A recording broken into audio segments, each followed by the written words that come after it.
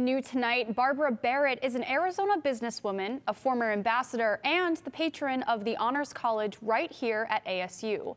And now she's in line to be the next Secretary of the Air Force. That nomination was the subject of a Senate Armed Services Committee confirmation hearing in Washington today. Cronkite News reporter Heather Cumberledge spoke with Barrett after the hearing and has a report from our Washington Bureau. Heather? Barbara Barrett may be in line to be the next Secretary of the Air Force, but her confirmation hearing today was about more than just fighter jets and bombers. Topics range from everything to outer space to the border wall.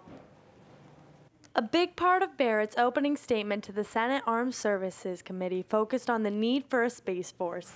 If confirmed, standing up a Space Force would be a key imperative.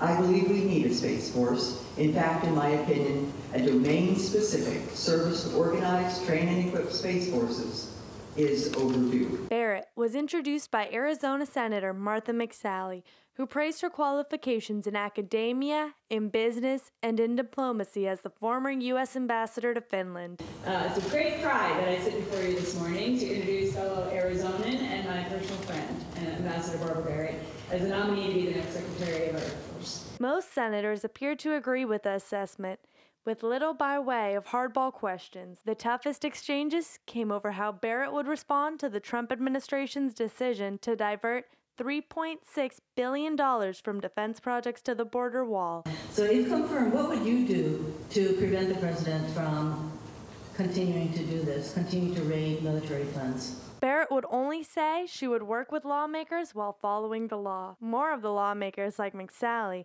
asked about getting commitments for home state projects. I want to ask if I can continue to have your commitment to uh, assess that and see how that maybe could be used at other bases because it really is an amazing initiative. Absolutely, Senator. All right, great. We'll show you that firsthand uh, when you come out to Luke. Most senators said they look forward to working with Barrett, a move McSally supports. These positions make her a phenomenal choice to lead a military service branch. But her unique experiences are what make her the best choice to lead our Air Force at this important time in history. Barrett said she looks forward to it as well. And I'm proud to have the privilege of serving in uh, the government in recent past, and it would be a great privilege to serve again. No vote has been scheduled yet on the nomination. When I asked Barrett about it, she said she would only say she looks forward to the results of the vote. If confirmed, she would be the fourth woman to serve as Air Force Secretary. In Washington, for Cronkite News, Heather Cumberledge.